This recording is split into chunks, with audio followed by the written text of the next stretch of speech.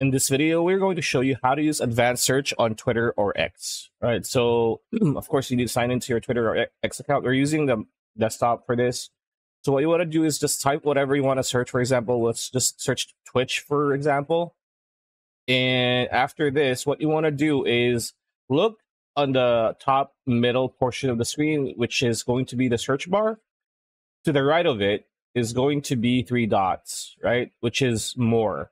So click more and a pop-up will appear with search settings, advanced search, and saved search. So of course we want to click on advanced search. So do that, click on that.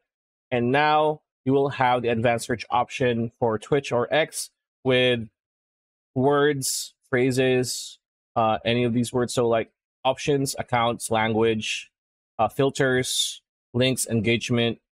So pretty much everything that you would like an advanced search option for a social media platform to have. And yeah, that's how you do it. That's how you go to advanced search and use it.